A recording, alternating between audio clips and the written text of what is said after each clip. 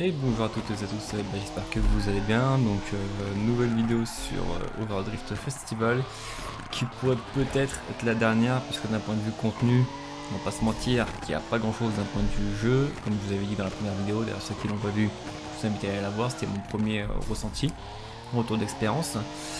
Et je vois pas trop ce que je pourrais faire en fait comme vidéo dessus. Mais là, je pense que ça risque peut-être être la dernière. Donc du coup, on... j'ai plutôt pas mal avancé là cette fois-ci.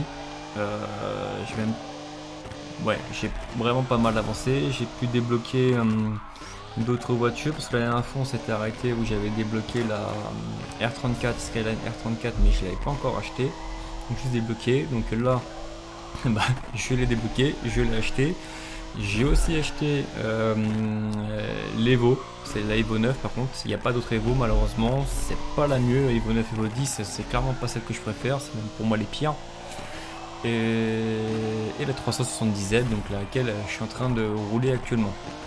Et que je suis en train tout juste de prendre en main parce que je viens de, la mettre à 100% euh, des performances. Donc là c'est vraiment les tours de chauffe pour, euh, pour ajuster et voir comment, euh, comment elle se prend en main. Voilà, donc j'ai la R34 et j'ai la lanceur Evo et j'ai du coup la 370Z qui sont augmentées à fond. Et enfin, en fait, je peux enfin dire enfin, c'est quand on, je trouve que c'est quand on augmente les performances à fond de la voiture qu'on arrive enfin à trouver un peu un feeling différent entre euh, les voitures. En dessous de ça, et bah j'avais fait d'autres tests sur d'autres voitures que j'avais achetées euh, où j'avais augmenté les pièces petit par petit et j'avais vraiment le sentiment de conduire tout le temps la même voiture. Alors par contre il y a un problème qui pour moi qui persiste, c'est euh, le moteur. Et j'ai donc que ce soit sur l'Evo, je l'ai fait exprès, donc sur la R34, moi j'ai mis le RB26, ça va de soi, il faut se respecter un peu. J'ai mis le RB26 sur la R34 et j'ai mis le LS, euh, le moteur américain Chevrolet de, sur l'Evo, c'était pour faire le test, hein. euh, je l'ai mis dessus, c'est pas un moteur qui est dégueulasse, hein, euh, loin de là. Et sur la 350Z, j'ai mis le 2GZ, le 2JZ. Et ce, qui, qui en soi sont trois moteurs sur le papier qui sont complètement différents d'un point de vue comportement. Et bah j'ai toujours pas ce sentiment là. En fait la seule différence qu'il va y avoir c'est que j'ai l'impression qu'on est la même courbe de progression en fait. Euh, mais ce que selon le moteur, selon le swap en fait, cette courbe de progression va commencer plus ou moins tard en fait. Mais il euh, faudrait que je fasse un schéma que je mettrai au montage pour vous expliquer en fait le ressenti que, j'ai par, par rapport à ces moteurs là.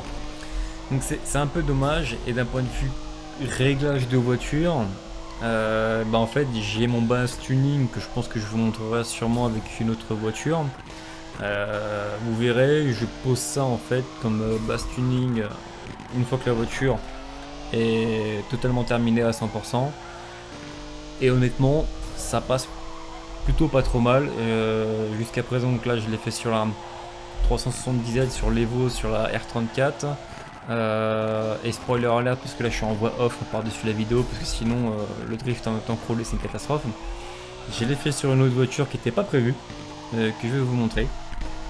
Et, et ça passe aussi. Voilà. Donc on va attaquer, parce là j'avance, j'avance, et on va pouvoir voir que du coup j'ai drifté pendant un long moment. Ah oui, pour vous montrer en fait une astuce pour pouvoir améliorer très rapidement une voiture euh, sans vous prendre la tête de faire morceau par morceau. Parce que je vous avais montré dans la vidéo précédente qu'on pouvait en fait qu'il y avait différentes euh, monnaies à, farmer. Donc il y avait les dollars, ça va de soi. Il y avait les pouces et les likes, donc les cœurs.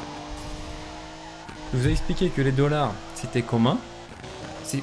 Pour, rappel, hein, les points que là je suis en train de farmer, donc là qu'on voit le, avec le compteur, donc là je suis à 57 000. Quand on s'arrête, on va gagner ces points-là qui vont s'additionner aux points qu'on a actuellement. Là, je suis à 2400 points en haut à droite. Ces points-là, il faut les convertir et la conversion va nous donner des dollars. Donc euh, c'est 1 pour 1. Donc 60 000 points vont donner 60 000 dollars. Par contre après pour tout ce qui est conversion de cœur euh, et de pouces, j'ai pas le taux de, taux de change par rapport au point. Mais en tout cas juste pour dire que les dollars c'est commun, donc si vous farmez avec une voiture, ça sera accessible à toutes les voitures les dollars.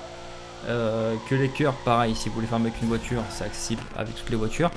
Par contre, les likes, c'est rattaché à une seule et unique voiture. Donc là, quand je vais faire l'échange de mes points, il n'y aura que cette voiture-là qui aura accès à ce que j'ai gagné en like. C'était pour, préciser. Et donc l'astuce, pour contourner ça, pour farmer en fait pour une autre voiture, elle est toute bête. Et ça montre encore une fois que ce système-là, je pense qu'il y avait une bonne idée derrière, mais bah, que ça a mal été géré. C'est qu'il suffit justement de prendre une voiture qu'on a avancée dans le jeu, de faire comme je suis en train de faire, donc farmer un maximum de points, et en fait derrière, avant d'aller faire l'échange de points, tout simplement changer de voiture, se mettre sur la voiture qu'on veut faire évoluer, et donc du coup, bah, on aura le change en dollars, ça c'est ok, comme je vous ai dit ça passe pour toutes, on aura le change en cœur, ça change pour toutes, il n'y a pas de problème. Par contre, on aura du coup les likes, enfin les, les pouces, qui seront du coup attribués à la voiture avec laquelle on aura fait l'échange de points, et pas avec la celle qu'on a farmée. Ce qui fait que derrière, on peut débloquer la partie upgrade des pièces euh, bah, avec, les, avec pouces assez facilement, même très rapidement. Voilà. Donc je vais vous faire un petit avance rapide euh, sur la partie euh, farming pour vous montrer que là je crois que j'étais à plus de 250 000 et vous montrer du coup après la petite astuce.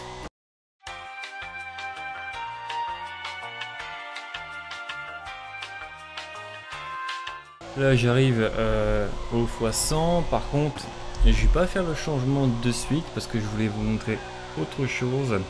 Parce que comme je vous l'ai expliqué, il n'y a qu'un seul, voire deux spots, mais en fait au final il n'y a vraiment qu'un seul spot vraiment intéressant pour drifter actuellement dans cette preview. Hein.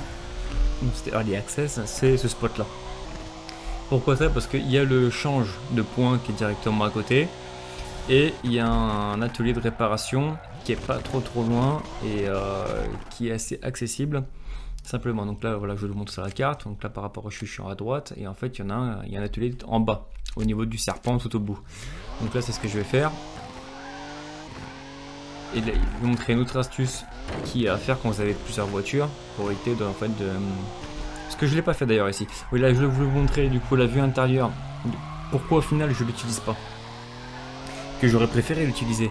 C'est juste qu'en fait, le FOV ou FOV, c'est comme vous voulez. Euh, je le trouve vraiment trop étroit et il n'y a pas de point de repère vraiment. J'ai vraiment du mal. Euh, et il n'est pas réglable. Il est clairement pas réglable et il n'y a pas la vue euh, dynamique mode drift qu'on peut avoir dans Forza Horizon 5 où quand on est vraiment sur l'angle on a la caméra qui va se décaler pour voir un peu plus l'extérieur parce qu'en drift comme je l'ai expliqué dans une des vidéos on regarde pas droit devant nous quoi on cherche plutôt à voir le, ce qu'on va, ce va devoir, anticiper, donc regarder un peu plus loin. Mais généralement, ça se passe une fois qu'on est sur l'angle, donc on va plutôt regarder à droite vers notre, vers notre fenêtre.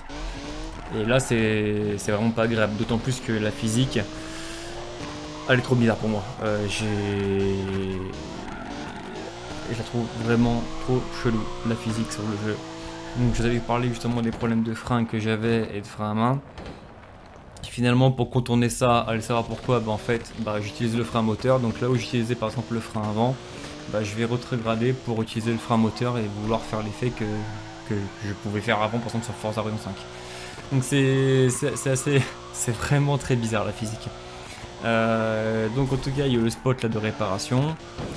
Et euh, pour pas vous prendre la tête, quand vous avez plusieurs voitures, bah, c'est au lieu de, le faire que des allers-retours, mais en fait vous faites vos changements de voiture et vous le réparez euh, une à une, comme ça elles sont toutes réparées d'un coup et vous prenez pas la tête à faire que des allers-retours.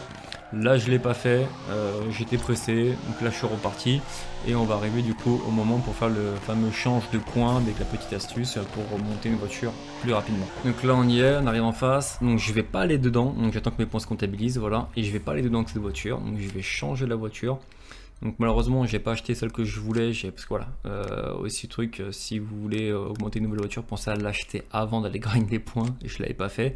Donc je me suis dit on va augmenter la S15, ça me dérange absolument pas de la monter, c'est une voiture que j'aime bien, donc maintenant que je suis avec, donc là vous voyez du coup les upgrades, je vais débloquer celle qui m'intéresse. Parce que du coup comme vous allez grind avec une autre voiture, il n'y a plus besoin de se prendre la tête à le faire avec, par, par les pièces intermédiaires.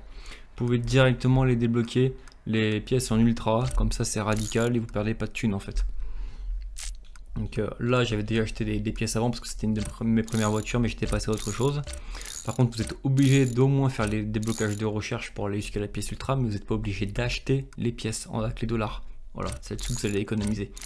Mais les points, euh, encore une fois, du coup de recherche, vont être vite farmables. C'est comme vous farmez tout le gros stock de points que les autres voitures. Vous allez les convertir là, maintenant, vous allez voir. Bim, voilà, donc du coup j'ai gagné les points en like euh, sur cette voiture là. Donc je vais pouvoir débloquer les recherches des euh, pièces ultra. Tout simplement. Et en plus, bah, je gagne le cash derrière. Ça c'est pas. Voilà, c'est assez simple à comprendre. Et je peux débloquer mes pièces ultra. Voilà. Sans passer par les pièces intermédiaires et perdre des dollars pour rien. Donc ça permet de monter très rapidement les voitures au final. En passant plus en, en farmant avec ce spot là. là on arrive du coup à la partie tuning. Comme je dis c'est mon tuning de base. Euh, je mets 32 en pression à l'avant, je mets 20 à l'arrière. Euh, mais c'est le tuning que je mets quand je vais avoir toutes mes pièces en ultra. Là je, je pré-shot parce que je sais que je vais la monter en ultra partout. Donc je pré-shot. Pour la boîte de vitesse, pareil. Euh, normalement en final drive, je mets 2,44. En first gear, je suis à. Que c'était bien 3,20. Seconde gear, c'est 1,90. 1,50 pour la troisième. Je suis à 1,15 voilà, pour la quatrième. 80. Euh, alors j'ai inversé parce que normalement je suis à 90 pour la cinquième et 85 pour la sixième. Voilà, donc pour moi, vous, le saurez. J'ai fait ça un peu, un peu rapidement. Euh, pour tout ce qui est euh, suspension, euh, ça bouge pas trop par rapport au défaut. C'est juste que l'arrière, je vais le descendre à 3 au niveau de, du spring preload. le front camber, je vais le mettre à moins 7. tout ce qui va être tôt, avant, arrière, c'est 0. Ça, j'en mets jamais. rear camber, j'aurais préféré en avoir 0, mais le moins 2, c'est le minimum, donc j'ai mis moins 2. Et tout ce qu'après... Hein, pour le reste en downforce, euh, c'est 50, 75 et le break comme j'utilise le frein, je l'utilise pas au final parce que je vous ai dit que je le trouve très mal géré. Euh, et bah je, m'en fiche de le régler, tout simplement. Voilà. Donc là on arrive où la partie où j'ai euh, farmé cette fois-ci avec l'Evo. pour vous en parler aussi, parce que comme je vous ai dit, c'est là où quand les voitures sont en ultra qu'on sent vraiment la différence. Et bah du coup entre euh, par exemple la 370Z et euh, l'Evo 9, ce qu'on va vraiment sentir de différence c'est que l'Evo 9 elle est lourde. Elle a, un train arrière que je trouve super lourd, qui pourrait peut-être se régler euh, par, les, par les settings, sûrement par exemple en descendant le downforce sur le, sur le spoiler arrière, voire sur d'autres settings, mais je pense que d'origine c'est quand même une voiture où on sent qu'elle est quand même plus lourde et moins agile. Par contre, euh, une fois qu'elle est sur l'angle, sur les, longs virages, elle bouge plus. C'est, elle est sur son rail. D'ailleurs, en parlant de rail, c'est peut-être en fait une chose, que, je pourrais reprocher au jeu, c'est que justement, en dehors des spots de drift, quand on va être vraiment sur les routes ouvertes, là comme tout à l'heure, eh ben, je trouve qu'en fait que les voitures sont trop sur leur rail. Et une fois qu'on veut vraiment essayer de rattraper une trajectoire ou même sortir du drift, et bah la voiture en fait ne répond plus, la direction ne répond plus et ça tire tout droit ou ça reste sur la trajectoire, ça n'en bouge plus. Donc il y a vraiment ce côté rail. Voilà. Donc là, sur cette voiture là, bah, par rapport à la 370Z justement, on sent une fois qu'elle est en ultra qu'il y a une différence de comportement que j'avais pas forcément ressenti au tout début quand, j'avais la voiture euh, par rapport à la R34 ou par rapport à la 370Z. Euh, la R34 aussi qui est complètement différente, je vais rouler euh, après juste avec. La, R34, elle, euh, bah, en fait va être beaucoup plus traître. Elle va être beaucoup plus légère à la conduite qu'une Evo. Je dirais même plus légère qu'une 370Z à la conduite, mais par contre bien plus traître et moins pardonneuse qu'une 370Z mais elle reste quand même plaisante. Mais elle a un train arrière qui peut décrocher assez facilement et il faut vraiment connaître un peu le point de limite. Et en parlant de point de limite, bon, on va aborder du coup le sujet, c'est vrai que j'y avais pas pensé. Mais c'est où du coup ça va aussi différer par rapport à Forza Horizon 5, c'est dans Forza Horizon 5, on, peut configurer une voiture. Euh, en tout cas moi j'arrive avec mes voitures, j'arrive à configurer les voitures en sorte que hum, qu'il y a un moment en fait où la voiture va nous dire que c'est le point de limite sur l'angle où on est et attention on va pas plus loin. Donc on peut se rattraper assez facilement. Là, dans tout là je fais la conversion de points du coup avec les points que j'ai fermés. Là dans Overdrift Festival, il n'y a pas, il y a, pas, a pas ce moment d'alerte et oh tu vas trop loin, euh, rattrape-toi. C'est qu'à partir du moment où il y a le, la limite qui va être atteinte, généralement c'est qu'on l'a qu'on l'a atteinte et que la voiture pour la rattraper, ça peut être très compliqué, voire impossible. Donc il faut rouler avec. Donc là je l'ai monté à fond, donc je vais faire mes petits tours d'essai. Il faut rouler avec en fait, voir la pousser à fond pour voir justement où est la limite et c'est à nous après derrière par l'apprentissage de la conduite et de l'habitude qu'on va avoir avec les voitures de connaître où est la limite et pas attendre que ce soit la voiture qui nous dise euh, t'as atteint le point limite va pas plus loin voilà c'est c'est on aime ou on n'aime pas il y a un petit côté un peu plus euh, serious game on va dire parce que du coup c'est pas la voiture qui va nous le dire euh, mais ce qui est un peu dommage parce qu'une fois qu'on l'a bien réglé, c'est quand même bien d'avoir un petit retour de la hauteur par rapport à ça. Mais je pense aussi qu'il y a un... que je vais pas porter défaut au jeu, ça c'est plus par rapport à moi et mon équipement.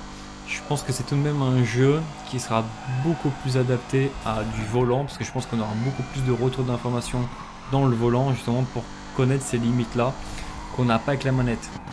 De même que le système de frein par exemple, je pense qu'à mon avis qu'avec un pédalier, il était un peu plus utilisable, mieux jaugeable qu'avec euh, bah, une manette. Donc il faudrait faire le comparatif, donc le jour où j'aurai enfin mon, équipement, euh, mon setup volant, euh, je pense que je pourrais faire un comparatif.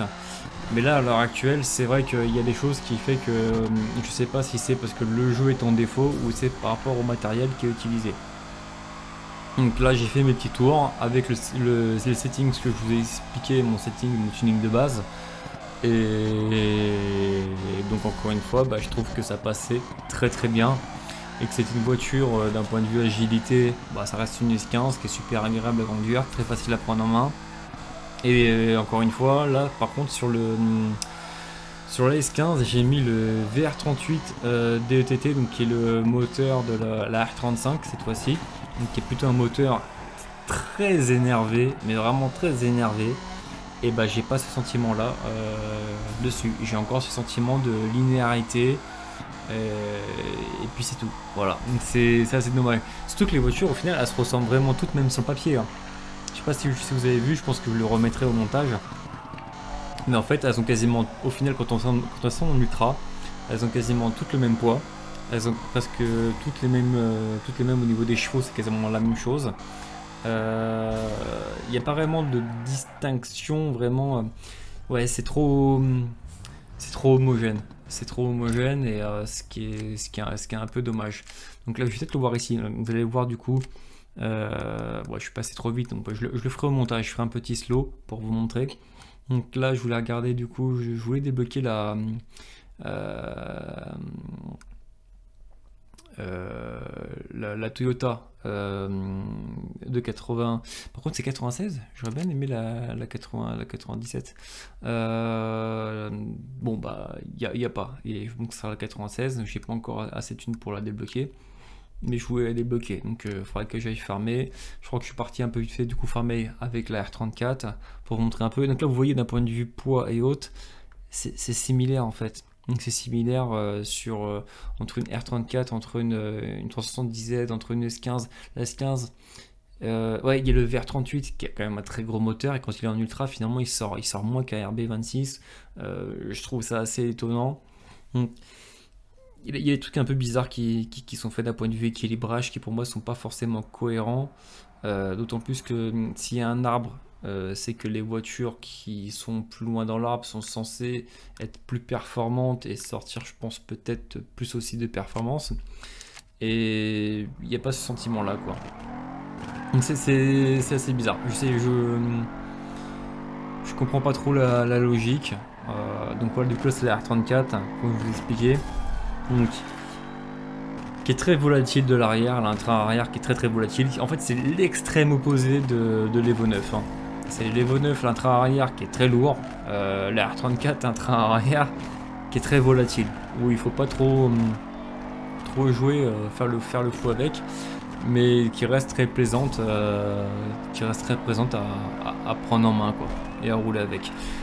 C'est un, jeu honnêtement, encore une fois, qui pour moi vaut clairement pas ses 25 balles en accès anticipé mais qui a un très gros potentiel. Je pense que honnêtement, si, par la suite euh, il, peut, il peut y avoir du développement de d'autres spots euh, intéressants où il y a des, centres d'échange de, monnaie euh, assez proches, et pas comme le deuxième spot où il faut aller au bout de la map pour faire de l'échange de monnaie. voilà, donc si le jeu arrive à vraiment à grandir, au lieu de se focaliser sur des packs voitures pour se faire de la thune et profiter des joueurs, ce que j'aime absolument pas. Euh, S'il pouvait y avoir plus de contenu au niveau de la map, au niveau des spots, euh, revoir les menus, comme je vous avais dit, qui font très cheap, et, donner plus de possibilités de, de, de, de, réglage, de, de, customisation au niveau, au niveau des voitures parce que pour l'instant c'est assez réduit mais ça, ça passe encore. D'ailleurs j'avais parlé dans la première vidéo qui avait pas l'information d'usure de la voiture. En fait, si. C'est juste qu'il fallait le voir. Il y est, c'est indiqué en fait. Donc, euh, soit en vue intérieure, on le voit encore moins, ou la vue extérieure en fait. Si vous regardez au niveau du compteur, on voit le rapport de vitesse, et c'est à gauche du rapport de vitesse où il y a toutes les informations d'usure. Alors, il y a l'usure moteur, il y a l'usure, euh, je crois, des pneus, et l'autre, ça va être la direction, je pense. Après, ça va être le système d'éclairage, à mon avis, parce que c'est généralement ce qu'on a au niveau des phares. Que j'ai jamais réussi à esquinter euh, jusqu'à présent. Je vais peut-être que dans, une feature, euh, dans une feature future. En tout cas, jusqu'à présent, j'ai jamais réussi à l'esquinter. Et en plus de ça, donc à droite du euh, compteur de rapport, du l'afficheur de rapport, on a du coup la vitesse à laquelle on est, mais aussi l'angle de notre drift que j'avais pas fait attention non plus sur la première vidéo, donc c'est une information qui est plutôt intéressante à voir, euh, mais qui justement je me suis posé la question derrière comment sont calculés les points, parce que ça aussi du coup j'aimerais bien que ça soit euh, pour moi corrigé, parce que moi il y a clairement un problème, que ce soit en fait avec une voiture de 1000 chevaux ou une voiture euh, from scratch, donc qu'on part dès le début, et j'ai pas vu de grande différence en fait sur le, euh, sur le gain de points. Parce que donc là j'ai mon petit tour de circuit euh, habituel que je fais, donc bah là j'ai tapé, tant pis. Mais j'ai pas vu franchement une grande différence en fait. Euh, je gagne quasiment le même nombre de points. C'est juste qu'on on, va aller plus vite avec une voiture évoluée. Et on gagnera le même nombre de points. Bon, dit comme ça, ça n'a pas vraiment de sens. Mais en gros, pour faire simple, pour essayer de faire simple en tout cas, donc vous voyez que je fais mon tour de circuit. Si je prends une voiture de 300 chevaux une voiture de 1000 chevaux, en fait en faisant le même tour de circuit en essayant de drifter, en fait je vais faire le même nombre de points. C'est juste que celle avec euh, de 1000 chevaux, bah, je vais faire mon tour plus rapidement. Donc je vais faire, je grind mes points plus rapidement. Mais j'aurais beau euh, avoir une voiture qui a 1000 chevaux avec laquelle je vais avoir un drift euh, où je vais avoir une vitesse de passage plus rapide, avoir un meilleur angle, une meilleure tenue qu'une voiture de 300 chevaux où le drift sera un peu plus crado. Et ben en fait, à la fin de mon tour, je vais avoir le même nombre de points. C'est là-dessus pour moi, il n'y a pas de cohérence et qu'on a dit qu'il y a un problème de calcul de points. il ne doit pas valoriser sur la vitesse et sur l'angle. C'est vrai que moi, il doit y avoir une correction là-dessus. Voilà. Donc euh, c'était tout pour moi. Donc euh, voilà, peut-être que ce sera la dernière. Peut-être qu'il y en aura une autre, on sait pas. Euh, trouve que si, ça vous intéresse d'avoir du contenu euh, sur ce jeu-là, ou même euh, à l'occasion, je sais pas s'il y en a qui jouent au jeu, qui, qui sont fait scam les 25 balles comme moi. en tout cas, s'il y en a qui veulent se faire des sessions ou autre, on peut se rejoindre sur Discord et on peut se faire des petites sorties, des petites sorties de drift ou discuter du jeu ou autre. Voilà. Je me tâte aussi. Euh, je voulais pas au début, ça faisait très longtemps que qu'on m'en parlait et que je voulais pas parce que la physique me paraissait un peu cringe. C'est euh, Carix, euh, Drift. Euh, je me tâte en fait à le prendre.